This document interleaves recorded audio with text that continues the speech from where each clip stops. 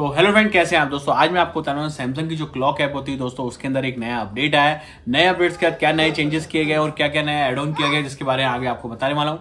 आगे बढ़ने से पहले मेरे चैनल को सब्सक्राइब कर लो नोटिस में बेल आइकन दबा दो, ताकि ऐसी नई अपडेट आपको सबसे पहले मिले। तो चलते हैं दोस्तों आगे। मेरा नाम सनी और आपका स्वागत है मेरे चैनल ऐसे टेक में। दोस्तों, जैसा कि बताया, मैं आपको बता रहा हूँ सैमसंग क्लॉक ऐप के नए अपडेट के बारे में। तो उसके लिए आपको जाना है सबसे पहले अपने मोबाइल के गलेक्सी स्टोर में, या फिर गलेक्सी स्टोर में जा सकते हैं। अगर आपको गलेक्सी स्टोर में मेन्यू जाके अपडेट्स के अंदर देखेंगे तो आपको यहाँ पर क्लॉक का एक नया अपडेट यहाँ पर मिल जाएगा। आप देख सकते हैं क्लॉक का नया अपडेट आपको यहाँ पर मिल रहा होगा। आपके पास यहाँ नहीं मिल रहा है तो आपको क्लॉक ऐप में चले जाना है। क्लॉक ऐप में जाने के लिए आपको करना क्या है? यहाँ जाना है, यहाँ पर अपने मोबाइल में। यहाँ पर आपको क्लॉक को सर्च कर लेना है। जैसे ही आप यहाँ पर क्लॉक को सर्च करेंगे क्लॉक आपको यहाँ पर मिल जाएगा। क्लॉक आपको मिलने के बाद आपको यहाँ जाना है थ्री डॉट्स पे, यहाँ जाना है सेटिंग पे। सेटिंग में जाने के बाद आपको नीचे जाना है अबाउट क्लॉक में। अबाउट क्लॉक में जाएँगे तो आपको खुद ही बता देगा न्यू वर्जन इज़ अवेलेबल आपको वहाँ पर अपडेट पे क्लिक कर देना है। जैसे ही आप अपडेट पे क्लिक करेंगे, वो ऑटोमेटिक आपको ले जाएगा गलेक्सी स्टोर पे। गलेक्सी स्टोर पे जाने के बाद आप नीचे की तरफ़ देखेंगे तो इस अपडेट को कब रोल आउट किया गया है? अट्ठारह मई को इस अपडेट को रोल आउट किया गया आप देख सकते हैं। और साथ में इसका version number is twelve point two point zero point eight point four इसका साइज़ है ट्वेंटी फाइव एम बी का ये अपडेट है। तो दोस्तों, इस अपडेट को पहले तो मैं कर लेता हूँ अपडेट तो इस अपडेट में नया क्या है दोस्तों? इस अपडेट में नया ये है कि इम्प्रूव किया गया है स्टेबिलिटी एंड सम फीचर को।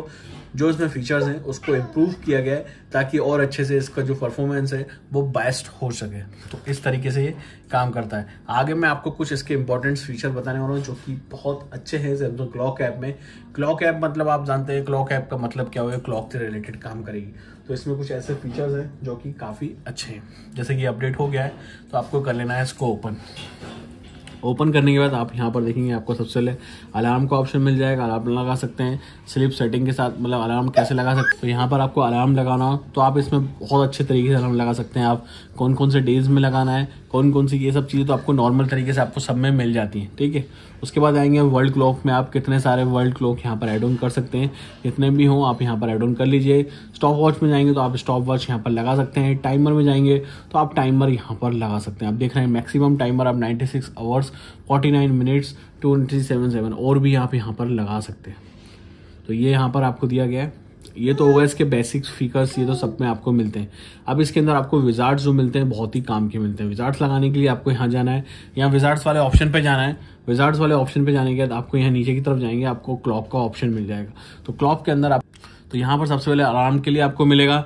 अलार्म सेट करना हो तो वाला आइकन मिलेगा नीचे आएँगे डिजिटल क्लॉक के लिए आपको यहाँ पर वो मिल जाएगा और नीचे आएँगे आपको ड्यूअल क्लॉक का मिलेगा और सबसे अच्छा जो एन इसका है एनुलॉग क्लॉक का जो बहुत ही शानदार है आपको यहाँ पर टैप करना है या फिर उसको आपको यहाँ एड ऑन पे क्लिक कर देना है। तो ये पहले तो लॉक कर रखा है तो मुझे लॉक हटाना होगा।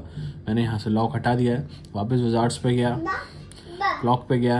अब मुझे ये लगाना है तो मैंने यहाँ से उसको पकड़ा और यहाँ छोड़ दिया। तो यहाँ पर आप छोड़ने के बाद आप इसका साइज़ को इंक्रीज कर सकते हैं। जितना ज़्यादा आपको साइज़ है, आपको उतना स्पेस होना चाहिए।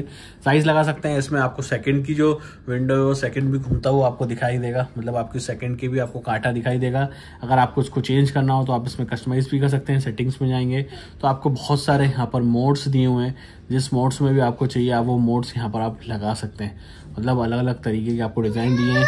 वाइट ब्लैक आपको जो भी चाहिए, उसकी, उसका थिकनेस कितनी होनी चाहिए। थिकनेस भी आप यहाँ पर सेट आउट कर सकते हैं। थिकनेस मतलब कि कितना ज़्यादा इसके ब्लर और वो होना चाहिए तो आप वो भी यहाँ पर सेट आउट कर सकते हैं।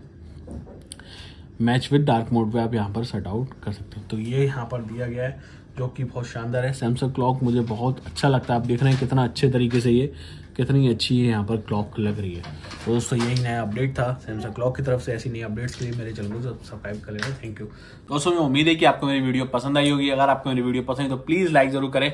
और अगर आप लगता कुछ कमी है मेरी वीडियो में तो मैं डिसलाइक कर सकते हैं। या फिर अगर आप मुझसे कुछ पूछना चाहते हैं, इस वीडियो से रिलेटेड या कुछ भी, आप डायरेक्ट कमेंट करके पूछ सकते हैं, या फिर आप डायरेक्टली इंस्टाग्राम या फेसबुक पर डीएम करके भी पूछ सकते हैं।